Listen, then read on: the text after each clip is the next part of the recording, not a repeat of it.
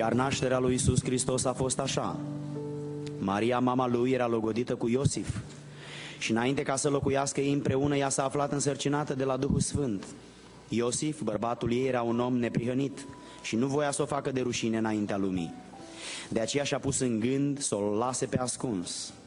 Dar pe când se gândea el la aceste lucruri, s-a arătat în vis un înger al Domnului și i-a zis, Iosife, fiul lui David, nu te teme să iei la tine pe Maria nevastă ta, căci ce s-a zămizlit în ea este de la Duhul Sfânt. Ea va naște un fiu și îi vei pune numele Isus, pentru că el va mântui pe poporul lui de păcatele sale. Toate aceste lucruri s-au întâmplat ca să se împlinească ce vestise Domnul prin prorocul care zice Iată fecioara va fi însărcinată, va naște un fiu și îi vor pune numele Emanuel, care tălmăcit înseamnă Dumnezeu este cu noi. Când s-a trezit Iosif din somn, a, făcut, a făcut cum îi poruncise îngerul Domnului și a luat la el pe nevastă sa, dar n-a cunoscut-o până ce a născut un fiu.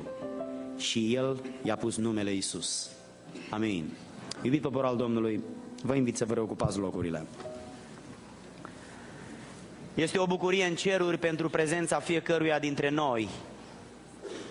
Am fi putut să fim în locuri de destrăbălare, însă prin harul lui Dumnezeu suntem aici. Dragostea lui Dumnezeu ne-a chemat și noi știm în sufletul nostru că merită să-L urmăm pe Iisus Hristos. Biblia spune că la împlinirea vremii, Hristos s-a dezbrăcat de dumnezeire, a luat un trup de om, întrupându-se printr-o fecioară și a venit în lumea noastră ca să ne mântuiască, să ne vindece și să ne dea un alt destin cu Dumnezeu. Lucrarea aceasta a fost pregătită de Dumnezeu de-a lungul istoriei. Dumnezeu a vrut să mântuiască și să vindece oamenii. Sora Rodica Haragoș tocmai a trimis un bilet prin care mulțumește bisericii. Sora Ana Ursache este aici în urma unei suferințe de asemenea lungi, unei intervenții chirurgicale complicate. Și este aici la vârsta aceasta ca să-L onoreze pe Cel care i-a mai dat viață. Pentru aceasta a venit în lumea noastră Iisus Hristos. Și pentru că noi suntem în contextul acesta al aniversării nașterii sale, aducându-ne aminte de sărbătoarea aceasta care se concentrează pe nașterea sa. Noi am numit-o Crăciun, nu este un limbaj tradițional, popular. Însă nu așa de mult denumirea contează cât semnificația din sufletul nostru. În seara aceasta aș vrea să împărtășesc cu dumneavoastră un cuvânt al Domnului din textul care s-a citit și de dimineață și în după amiaza asta, pe care l-am numit atmosfera de Crăciun. Vorbesc cu unor oameni care îl cunosc pe Dumnezeu, unor oameni care deseori simt fiorul cercetării Duhului Sfânt, unor oameni care deseori lăcrimează la rugăciune sau citind în Scripturi. Dumneavoastră știți că atunci când Dumnezeu lucrează, El face o atmosferă specială în mijlocul căruia, căreia se introduce și lucrează. De aceea vreau să vorbesc despre atmosfera aceasta. Pentru că această atmosferă este atmosfera ideală pentru sufletul meu, pentru casa mea, pentru sufletul dumitale, pentru familia dumitale și pentru Biserica lui Dumnezeu. Dacă privim în acest text, nu observăm doar mișcări de oameni și îngeri, nu doar evenimente, ci observăm o anumită atmosferă care găzduiește lucrarea lui Dumnezeu în interiorul ei. Și primul lucru pe care îl observăm este neprihănirea.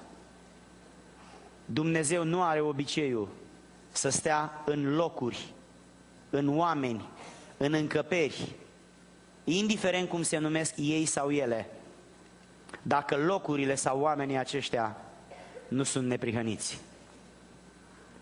Versetele 18, partea a doua, 19 și 25 vorbesc despre faptul că întotdeauna când Dumnezeu coboară într-un loc, coboară într-un loc sfânt. Când coboară într-un om, coboară într-un om sfânt.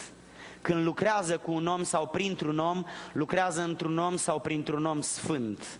Dumnezeu niciodată nu se asociază cu absența neprihănirii. Absența neprihănirii înseamnă absența lui Dumnezeu și prezența neprihănirii înseamnă prezența lui Dumnezeu. Dacă ți însetează sufletul după Domnul, atunci trebuie să înțelegi că condiția prezenței lui Dumnezeu în viața ta este neprihănirea. O neprihănire la care trebuie să visezi ziua și noaptea și după care trebuie să alergi chiar și atunci când ai, ridic, când ai alunecat, ridicându-te și începând, reîncepând alergarea celei de-a doua șanse pe care ți-o oferă Dumnezeu. Priviți, vă rog, contextul neprihănirii. În primul rând, logodnă. Doi tineri care își propun să se căsătorească, dar își iau un timp să se cunoască, fac un anunț public ca să încheie lista opțiunilor pentru alții, fac un anunț public ca părinții, rudele, prietenii, cunoscuții să știe că ei de acum încolo vor fi mai aproape unul de altul ca să se studieze, să se cunoască, pentru că ei nu vor să întemeieze o familie în necunoștință și mai apoi să spună eu mă despar de persoana aceasta că nu mai pot sta lângă ea. Nu am știut că este așa. Neprihănire înseamnă logodnă. Neprihănire înseamnă curăție în perioada de logodnă. Observați ce spune aici Scriptura.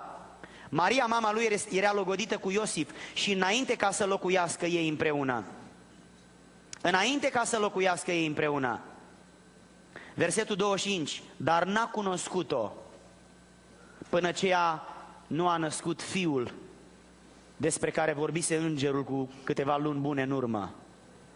Priviți ce logodnă, priviți ce perspectivă de căsătorie, cât de, diferi, cât de diferită este ea, dragi tineri, de perspectiva pe care vă oferă astăzi pragmatismul american. Cât de diferită este familia aceasta tânără. Erau niște tineri, probabil ca voi, probabil mai în vârstă, dar aveau perspectiva căsătoriei și au propus să se căsătorească și au făcut mai întâi angajamentul de logodnă. Dar ei s-au păstrat curați unul pentru altul. Și n-au avut niciun fel de relație păcătoasă până după terminarea lucrării lui Dumnezeu. Ei, pe acești doi tineri Dumnezeu i-a ales, pentru că ei și-au dedicat viața pentru neprihănire. Și perspectiva căsătoriei e un timp în care trebuie să fii neprihănit. Și atunci când îți cauți o fată e un timp în care trebuie să fii neprihănit. Și atunci când un băiat te curtează, e un timp în care trebuie să fii neprihănit. Și atunci când ești predispus să faci un păcat și ispita te cheamă și totul este pregătit, doar să întinzi mâna. Și atunci trebuie să fii neprihănit. Neprihănirea este o condiție, este o stare, este o atmosferă. Dragi tineri, frați și surori, noi toți suntem oameni și dincolo de cravata noastră religioasă de duminica, în spatele ei este carne, este inimă și sânge, sunt gânduri, sunt dorințe, sunt împrejurări cu gropi mascate de diavolul, sunt ispite, sunt capcane. Și prin tot hățișul acesta al lumii în care trăim, un Dumnezeu care controlează universul ne vrea neprihăniți și ne spune că atmosferă de Crăciun înseamnă neprihănire. Așa de mult ne bucurăm că ești aici. Și pentru dumneata este sărbătoare. Probabil ai pus beculețe în casă, ramuri de brad. Probabil ai pregătit ceva special de mâncare. Probabil chiar să ieși undeva cu familia. Însă ce înseamnă toate astea dacă nu cauți neprihănirea lui Dumnezeu? Dacă ai alunecat și ai rămas acolo în păcat și n-ai niciun gând să te ridici. Dacă ești acolo poate de o lună sau de un an și nu zici nimic și te-ai obișnuit și ți se pare că așa e normal. În seara aceasta eu vreau să-ți aduc aminte cuvinte pe care și eu le aud în timp ce le rostesc. Neprihănirea este prima condiție a atmosferii de Crăciun. N-are importanță că ești tânăr și vrei să te logodești. Nu are importanță că ești în vârstă. Nu are importanță absolut nimic. Condiția aceasta cu orice preț trebuie să fie prezentă. Al doilea lucru pe care îl întâlnim în atmosfera de Crăciun în atmosfera nașterii Domnului este maturitatea. Trăim într-o lume matură profesional. Oameni care sunt în stare să facă dintr-o bucată de tablă o mașină și aleargă pe expres cu 100 și ceva de mile într-o oră. Astăzi tehnologia a atins apogeul, a ajuns la dimensiuni, la nivele pe care nu le mai putem înțelege. Ne uităm la specialiști în anumite domenii și ne mirăm de competența lor, de pregătirea lor.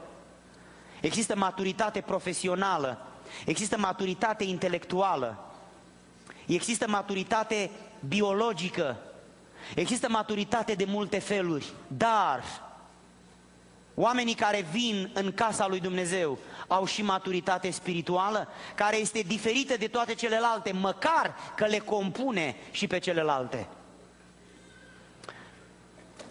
Așa sunt de mirat de atitudinea acestui bărbat. Biblia ne spune că el a observat. Ce spune Biblia? Maria, mama lui, era logodită cu Iosif și înainte ca să locuiască ei împreună, ea s-a aflat însărcinată. El a văzut că ea e însărcinată. E ușor să vezi o femeie care este însărcinată, e vizibil. E un semn care nu se poate ascunde. Iosif, bărbatul ei, n-a vrut să o facă de rușine și și-a propus să tacă. Dar toată lumea știa că el e logodnicul ei și toată lumea credea că el e cealaltă jumătate a rușinii. Când am citit asta despre bărbatul acesta, un sentiment de admirație mi-a umplut sufletul. Pentru că mi-am dat seama ce inimă mare poate să aibă un om care vede pe cel de lângă el că greșește și-l acoperă. Nu-l acoperă ca să păcătuiască în continuare, ci l acopere ca să-i ofere șansa să se pocăiască. Trăim într-o lume unde oamenii sunt cu ochii pe noi să vadă când păcătuim, pentru ca să ne expună, să exagereze greșeala pe care am făcut-o, să ne compromită și să-și bată joc de noi, dacă poate să ne trimită în locuința morților. Și în fața noastră este exemplul unui bărbat care vede rușinea unei femei care i-a promis fidelitate și el n-a știut că ce se întâmplă e de la Dumnezeu. Încă nu venise îngerul la el. Și totuși bărbatul acesta probabil, n-am de unde să știu, probabil a gândit așa. Fata asta mi-a, pro- mi-a promis că se va păstra curată pentru mine. Ea ajunge în situația aceasta și el își propune să o lase pe ascuns și să, se, să împărtășească soarta ei, să fie solidar cu ea. Este extraordinară atitudinea acestui bărbat. Trăim într-o lume unde invidia, gelozia și răutatea, lipsa de maturitate a oamenilor este cu ochii pe noi. Vor oamenii să intre cu privirile lor în dormitoarele noastre, să vadă ce facem acolo, în casele noastre. Nu mai avem niciun loc unde să fim privat, private, noi înșine. Vor oamenii să știe totul despre noi, să ne spioneze. Și stăm în fața unui bărbat care are maturitatea să acopere greșeala unui muritor, oferindu-i șansa să nu moară, să nu fie omorâtă cu pietre. Ce atitudine de maturitate! Spune Scriptura, dacă îl vezi pe fratele tău, dacă ai ceva cu el, du-te la el și spune-i, vină un pic la mine, frate. Uite, te-am văzut într-o situație rușinoasă, păcătoasă. Eu nu am să merg la păstor să te spun. Eu vreau să-ți spun ție. Și eu sunt om frate ca tine. Dar ține minte, eu am să fiu cu ochii pe tine. Și dacă te mai văd că faci chestia asta, să știi că eu mai aduc doi, trei cu mine, pentru ca să îți fie rușine și să te constrângem să nu mai faci asta. Crede-mă că ceea ce fac este să te ajut. Ai încredere în mine că cu ce am văzut sau cu ce am auzit mă duc în mormânt, pentru că îți vreau binele, omule. N-are importanță de vârstă. Maturitatea nu are legătură cu vârsta. Maturitatea este expresia pocăinței, este expresia spiritualității, este expresia unei condiții înalte de relație cu Isus Hristos. Este ușor să-ți bagi joc de un om, sau de o familie, sau de o biserică, însă este complicat să, să cunoști greșeala unui om și în același timp să-i permiți să aibă succes în viață. Lăsându-l să se ducă, că și tu ești din carne. Spunea fratele Wurmbrand că a auzit despre un alt coleg de temniță că a împărțit cina Domnului cu niște, în loc de pâine și vin, a fost bătut până aproape să moară și a împărțit cina Domnului cu excremente omenești. Este de-a dreptul ieșit din comun. Și când omul acesta, după o perioadă de ani de refacere fizică, în urma chinului pe care l-a suportat acolo în celula aceea, a venit între ei, în celula unde erau mai mulți, fratele Wurmbrand l-a chemat și l-a întrebat, cum ți-ai permis să faci asta? Omul ăsta s-a uitat la el și a început să plângă, scutărându-se ca un copil. Și a spus, frate, nu mă judeca, am suferit mai mult decât Isus Hristos.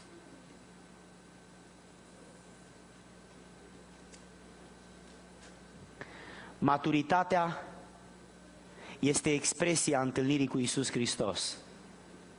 Și toate celelalte opuse, cleveteala, defăimarea, invidia, gelozia, sunt niște expresii ale firii îmbrăcate în haine de biserică.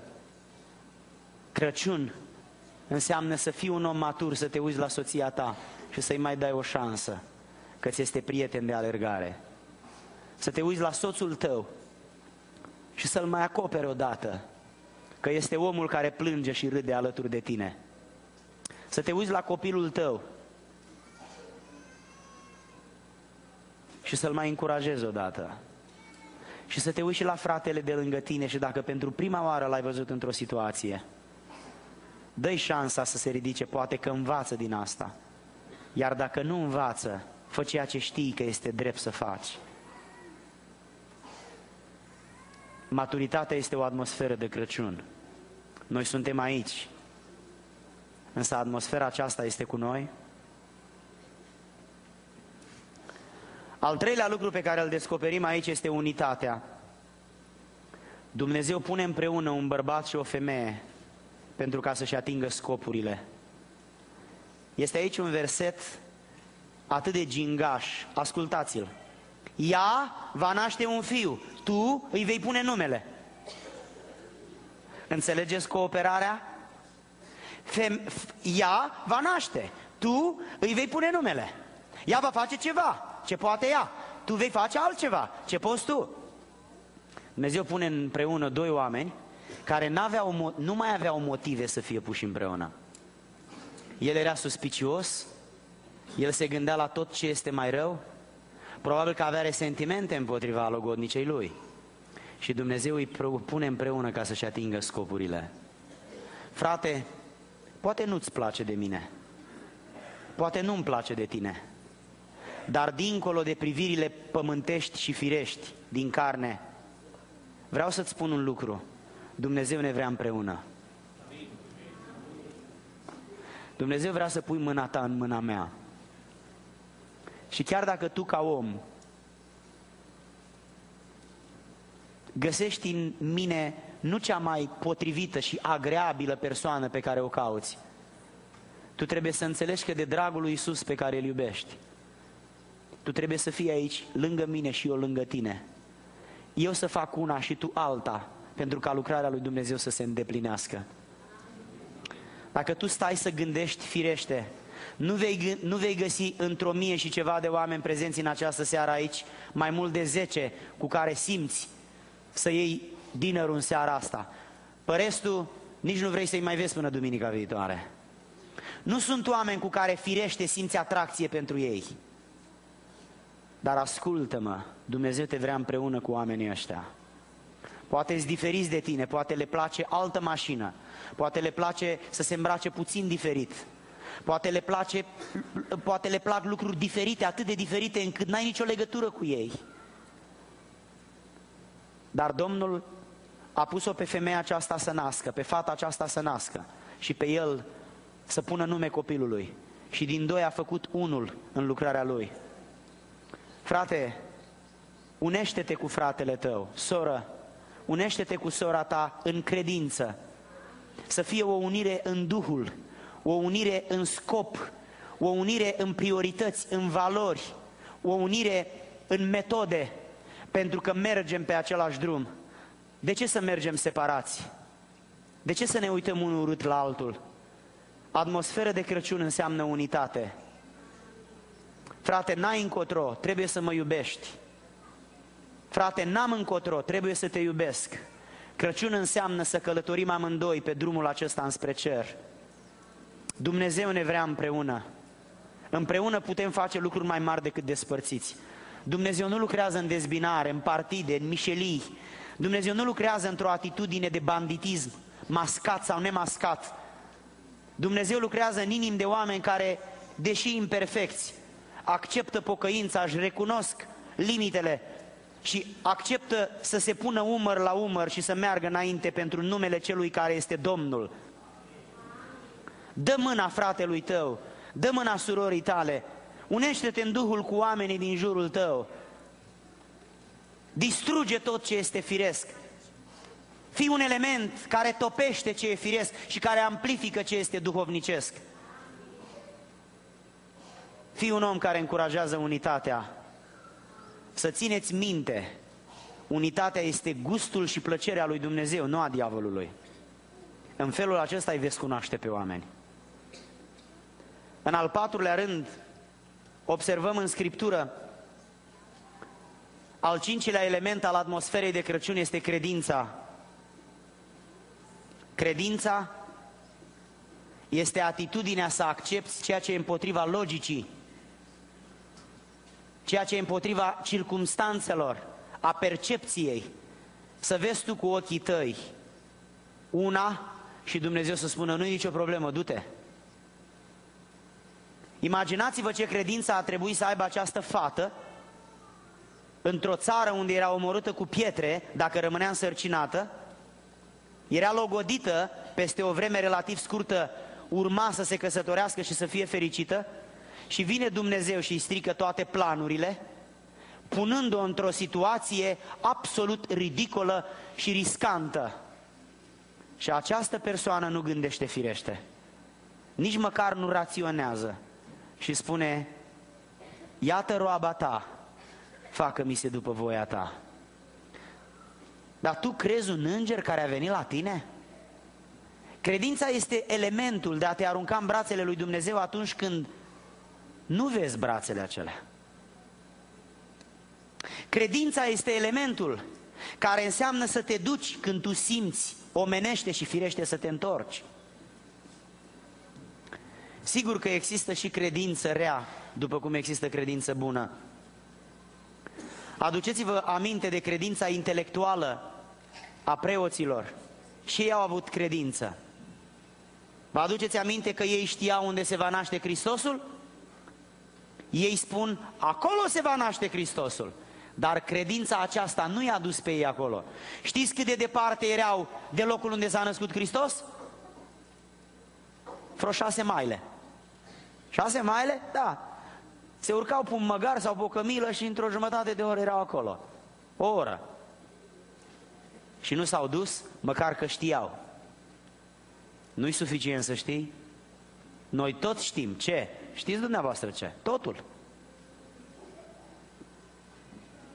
Există și o credință demonică a lui Irod. Irod a avut o credință demonică și el acționează în baza credinței lui. Oamenii acționează în baza credinței lor. Aduceți-vă aminte ce spune el magilor.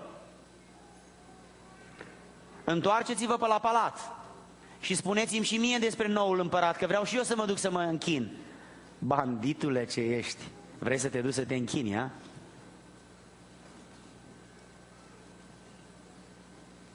Dacă Domnul nu s-ar fi descoperit acestor magi, să nu se ducă, s-ar fi dus săracii. Pentru că nu aveau niciun motiv să se îndoiască de afirmația lui. Poate omul să cunoască inima omului? Nu. Omul vede ce se vede.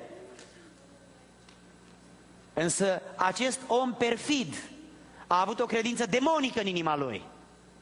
Priviți păstorii, pe Maria, pe Iosif, priviți magii, că au avut o credință care i-au condus la Isus. După aceasta să cunoașteți credința adevărată. Te conduce la Isus Hristos. nu te conduce la palat, nu te conduce până la o distanță de 10 km de locul unde s-a născut Hristos, ci te aruncă în brațele Lui. Te pune la picioarele Lui. Aceasta este credința adevărată. N-aș vrea deloc să te supăr în seara asta, pentru că este ajunul Crăciunului și ai venit aici să te bucuri. Dar vreau să te întreb, credința pe care o ai, te duce la picioarele lui Isus Hristos sau nu? Te rog în această seară, alături de mine, gândește-te.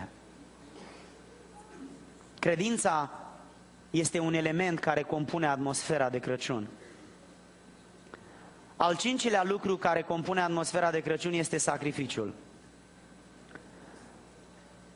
Observați, vă rog, că întotdeauna lucrurile se fac cu sacrificiu. Lucrurile mici cu sacrificii mici, lucrurile mari cu sacrificii mari. Ce sacrificiu mare a, fă, mare a făcut Biserica Betania în anul 2006 să cumpere centru creștin? Sunt printre dumneavoastră oameni care s-au dus și s-au împrumutat. Și probabil cei mai mulți ați făcut asta. Probabil că aveați niște bănișori strânși pentru ceva anume. Și ați luat pe toți sau o parte din ei. Bani munciți de dumneavoastră cu transpirație. Și v-ați dus la casierie doar pentru că ați simțit că acesta este un sacrificiu pe care trebuie să-l faceți. Câtă satisfacție ai chiar în clipa asta, în timp ce stai pe bancă, pentru sacrificiul pe care l-ai făcut. Aduceți-vă aminte cât sacrificiu a făcut Maria. Putea să-și piardă reputația, numele, viața. Aduceți-vă aminte cât sacrificiu a făcut Iosif. Putea să-și piardă iubirea, adică logodnica. Putea să-și piardă viața. Aduceți-vă aminte cât sacrificiu au făcut magii, au cheltuit timp, au cheltuit bani, s-au expus într-o cărătorie lungă la tot felul de tâlhării posibile și au abandonat slujbele, o călătorie atât de lungă cu mijloace de transport, atât de încete ca în vremea aceea, cămilă, măgar, se făcea foarte, foarte încet. Oamenii aceia au plecat pentru luni de zile. Cine, i-a mai, cine le-a mai plătit? Cine le-a mai dat bani? Cine le-a făcut slujbele? Dar pentru că au văzut steaua, au știut că trebuie să plece. Bani, nu are importanță, timp nu are importanță, slujbă nu are importanță. Am văzut steaua. Nu pot să văd steaua și să rămân pe loc. Mă mișc, fac ce pot. Nu pot să fac cât omul ăsta sau cât omul ăsta, dar pot cât eu. Nu ți se cere să faci cât cel de lângă tine, ți se cere să faci cât poți tu. Stai în fața lui Dumnezeu, ai liniște în conștiință că ai făcut cât ai putut? financiar, în aspecte de slujire, în aspecte de dedicare, de sacrificii, în alte aspecte?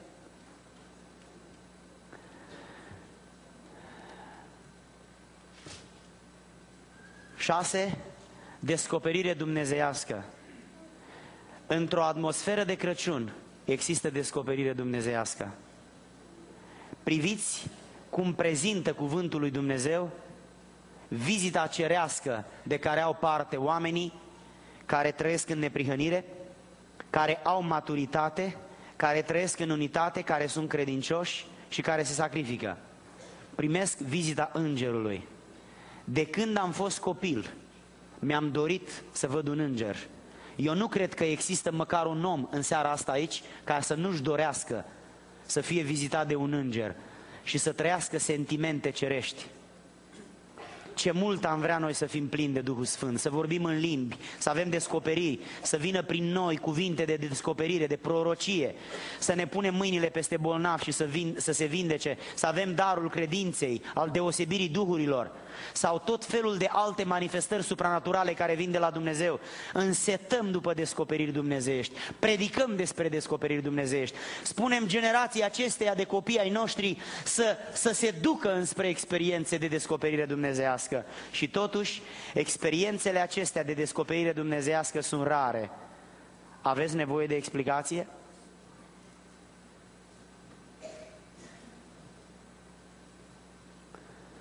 Ultimul lucru pe care îl rostesc este că atmosferă de Crăciun înseamnă ascultare.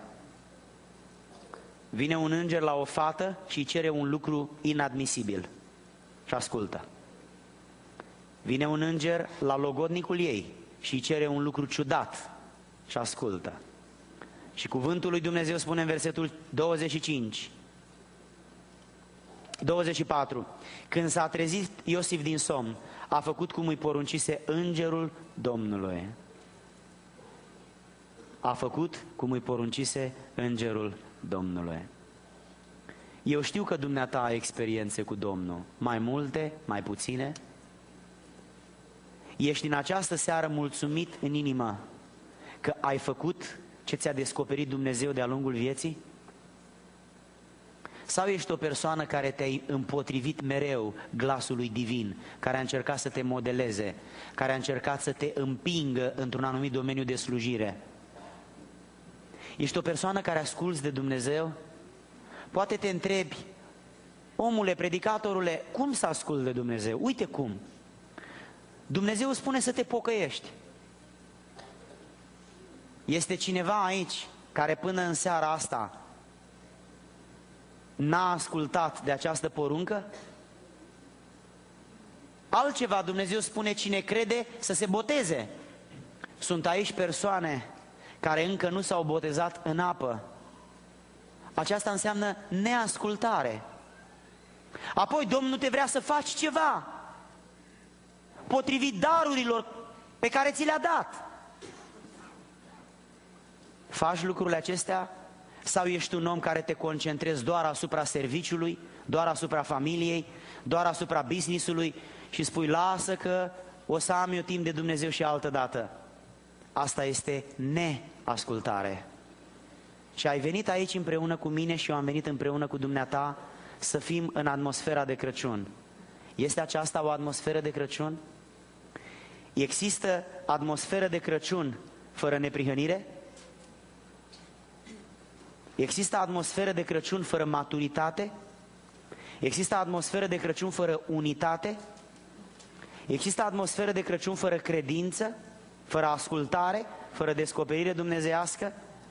Nu. Dacă nu, care dintre lucrurile acestea îți lipsesc? Te rog, nu pleca acasă, nu încerca să-ți scapi, stai, stai, unde te duci? De ce încerci să fugi? Stai un pic. Haideți să stăm înaintea Domnului și să ne întrebăm care sunt lucrurile care ne lipsesc. Neprihănirea? Maturitatea? Credința? Sacrificiu? Ascultarea? Descoperirea dumnezeiască? Niciunul dintre noi nu a ajuns la capătul drumului. Fiecare mai avem dintre aceste șapte lucruri anumite lucruri pe care trebuie să le facem în viața noastră.